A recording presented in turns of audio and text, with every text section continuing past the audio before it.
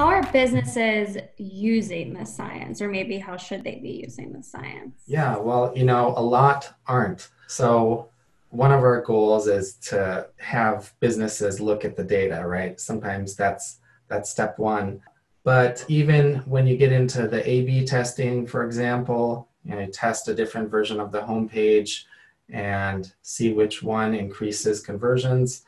You should at least have a theory before you do that kind of scientific experiment. And this uh, is a really nice framework for guiding A/B testing.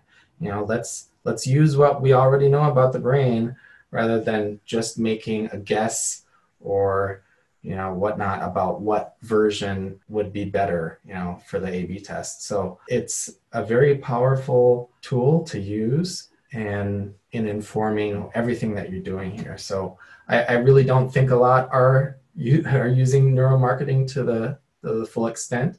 And i really do think it's an important thing for folks to be uh, paying attention to because it can be the difference between an ad campaign that flops or a homepage that you know doesn't lead to conversion